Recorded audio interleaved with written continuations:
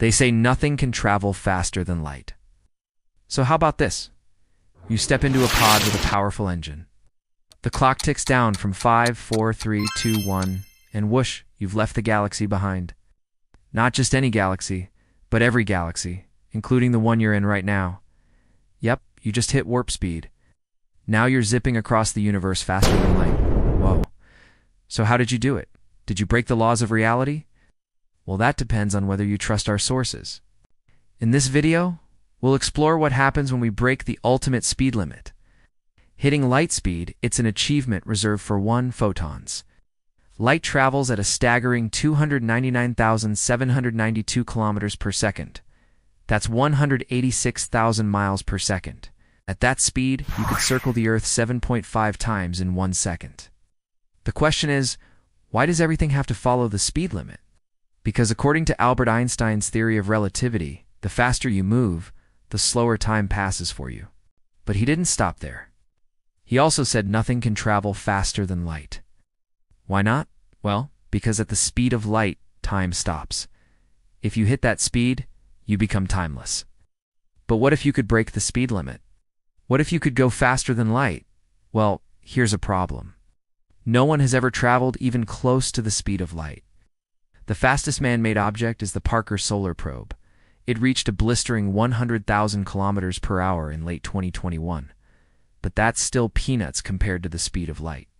However, Scientists have been thinking about this problem for decades.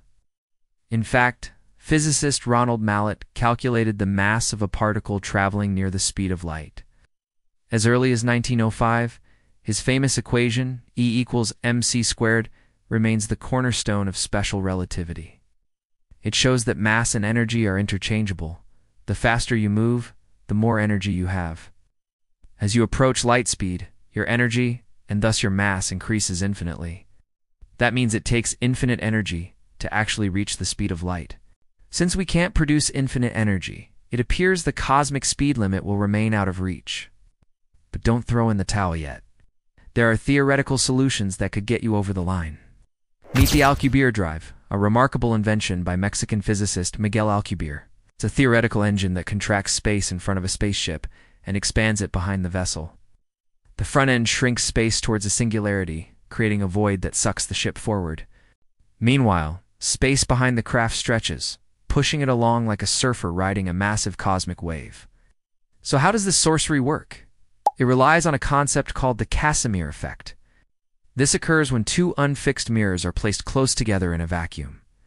The resulting pressure pushes the mirrors apart. In short, empty space has a subtle pressure.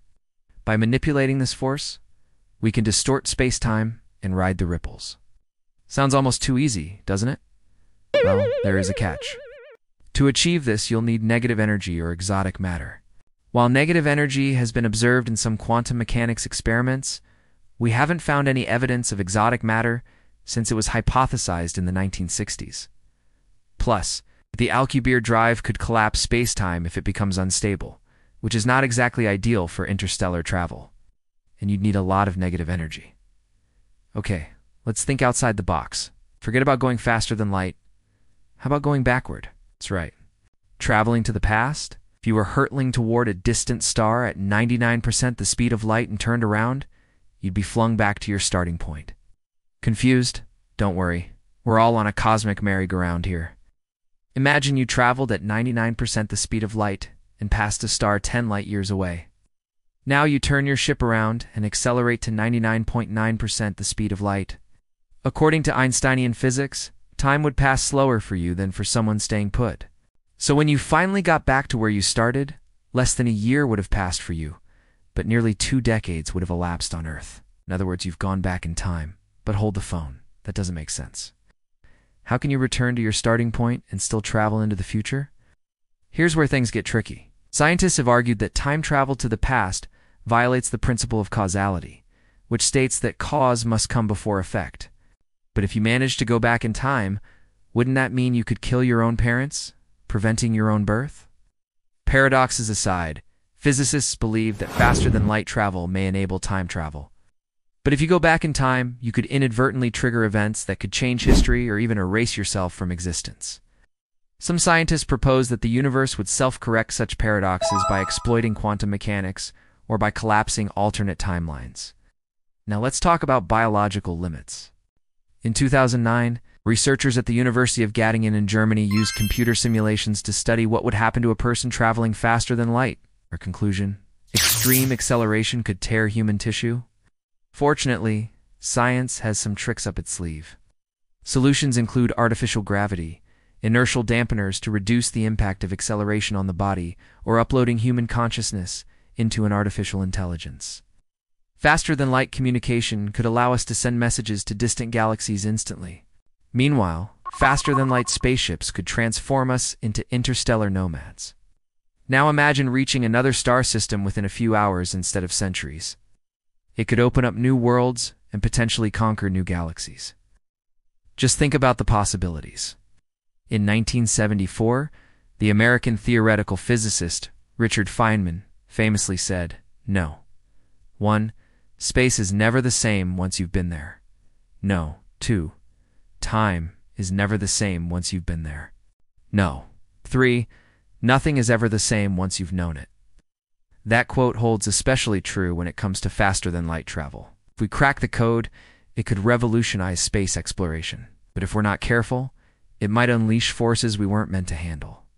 A question remains will we ever cross that cosmic threshold? The answer might lie in our ability to manipulate space time, harness exotic matter, or push the boundaries of physics. The potential rewards exploring new galaxies, rewriting history, or even conquering time. The risks facing the unknown, unraveling the fabric of reality, or unleashing forces beyond our understanding. As we stand on the brink of the impossible, we must ask ourselves, do we dare venture into the realm of faster than light? So here's the deal. If you want to know more about the mind-bending mysteries of the cosmos, I've got a suggestion for you. Check out my latest series, Cosmic Secrets 4.0. It's where I take you on a journey through the most baffling phenomena in the universe. And guess what? I've live right now on Nebula. Yeah, I know I keep talking about this platform, but it's because it's awesome. Not only do you get exclusive access to all my content ad-free and in stunning 4K, but you've also got a bunch of incredible Nebula originals and the best from CuriosityStream. And here's the coolest part. You can watch videos from all your favorite creators like Brian Cox, David Attenborough, and Stephen Hawking. Trust me, it's a cosmic adventure you won't want to miss. Look, if you love space and tech and all the crazy theories out there, this is your ticket to the best of the best. So check it out. It's just $2 a month. Use the link in the description. And hey, if you sign up, you'll get a free month of Curiosity Stream. It's a win-win situation. So what are you waiting for? Join us on this nebula, and let's unravel the secrets of the universe together. Okay. And here's an extra special bonus for you. When you sign up, you'll get to watch the first ever episode of Real Engineering. Can you imagine that? Thanks for watching. If you enjoyed this C Show Space video, Make sure to check out more just like it. And one more thing if you've ever wondered what it would be like to fly faster than light, then you won't want to miss this video.